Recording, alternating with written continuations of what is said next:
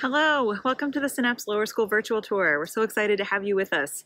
My name is Katie Morgan. I'm the head of the lower school. I found and fell in love with Synapse 11 years ago, and I've been here ever since.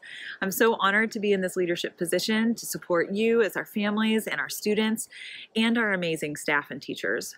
Our teachers are who you'll hear from today. We have videos from uh, our lead, we have videos from our lower school specialists to share a little bit about the program at each level. Level one is kindergarten. They're on their own learning to do school at Synapse for the first time.